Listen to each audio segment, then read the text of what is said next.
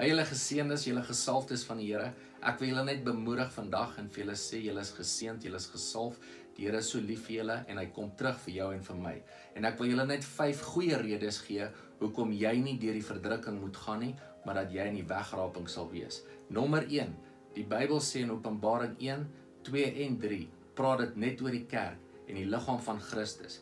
Van Openbaring 4 tot 19 praat die woord nie meer oor die kerk nie. Dit beteken dat ons nie meer op die aarde is in daai tyd van die verdrukking nie. Dan die tweede rede hoekom ek vir jou wil sê jy nie deur die verdrukking hoef te gaan nie.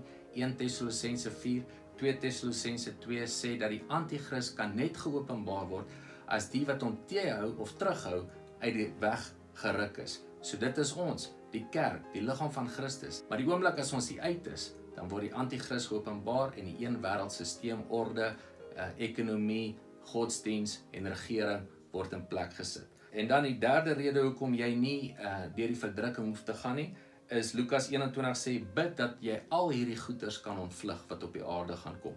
En die vierde rede is in 1 Tessalonisense 5, dit sê ons is nie bestem tot toring nie. So ons is nie bestem vir God se toring wat op die aarde gaan losgelaat word nie. Dis nog 'n rede hoekom jy uit hierdie aarde gaan check in die wegraping. En dan die laaste rede, Matteus 24 sê, die laaste dae sal dit wees soos in die dag van Noag en in die dag van Lot. Wat het gebeur in daai tyd? In die dag van Noag het uh, Noag sy ark gebou en toe God se oordeel kom, was Noag en sy familie klaar in die ark en hulle het nie deur God se toring gegaan nie. Dieselfde met Lot, hy's uit Sodom en Gomorra uitgevat en toe het God se toring geval met vuur um, en die hele stad gebrand. So ek wil jou vandag bemoedig en opgewonde kry dat ons is in die laaste minute van die laaste dae en jy is nie in die verdrukking nie. As jy wedergebore is, gevul is met die Heilige Gees en jy glo in Jesus Christus en glo dat hy die seun van God is en jy het met jou mond bely dat hy jou Here is, dan is jy gered en jy gaan in die wegraping wees.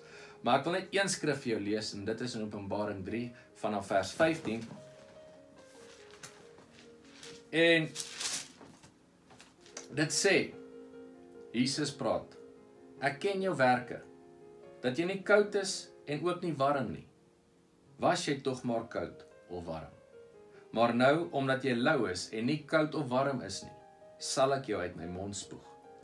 So hierdie ek wil jou net bemoedig dat jy moet aan die brand raak vir Jesus. Nou in hierdie tyd in die lockdown, waar jy is by jou huis, roep sy naam uit, worship hom, prys sy heilige naam, bid buig jou knieë, lig jou hande op, vertel hom hoe lief jy vir hom is.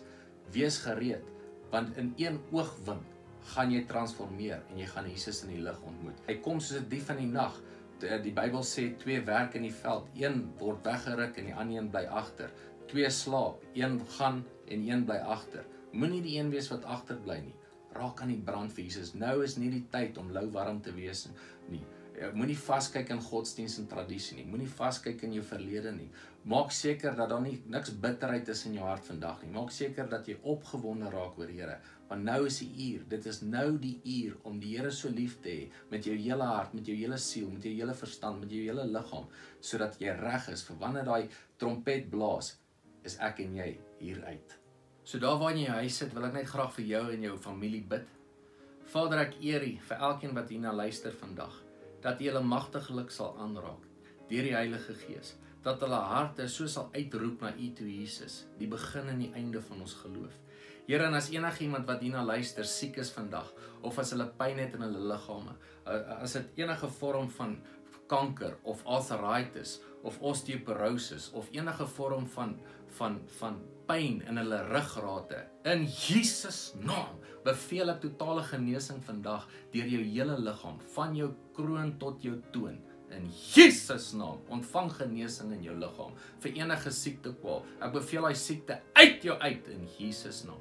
Vader en ek bid vir elkeen se familie en hulle verhoudings en hulle huwelike dat vandag dat hulle nie mekaar opstand sal kom nie, dat hulle nie aggressief teenoor mekaar sal wees en woorde wissel wat nie van U af is nie, maar dat hulle harte so sag sal raak voor U dat hulle mekaar in liefde sal hanteer vandag in Jesus naam. Ek bid vir huwelike, mense wat hierna kyk wat sy huwelike in egste op egskeiding staan of in in vorm van vrees staan of hulle is ongelukkig of frustreerd met mekaar. Dankie dat U hulle net aanraak. 'n Wonderwerk vandag in hulle huwelike, in hulle verhoudings met hulle kinders en die kindersverhoudings met die ouers. Want die Bybel sê dat in die laaste dae sal die ouers teen die kinders opstaan en die kinders teen die ouers opstaan, maar laat dit nie so sal wees in die Christene se huise vandag nie, maar dat hulle mekaar met liefde sal hanteer in Jesus wonderlike naam. En ek bid vandag vir jou finansies en vir jou werk en vir die ekonomie en wat ook al werk jy in betrokke is, dat jy die Here so sal vertrou vir 'n wonderwerk, dat ek saam met jou kan stem vandag, want die woord sê waar twee of meer saamstem, so sal dit wees. Ek stem saam met jou vir 'n wonderwerk in jou finansies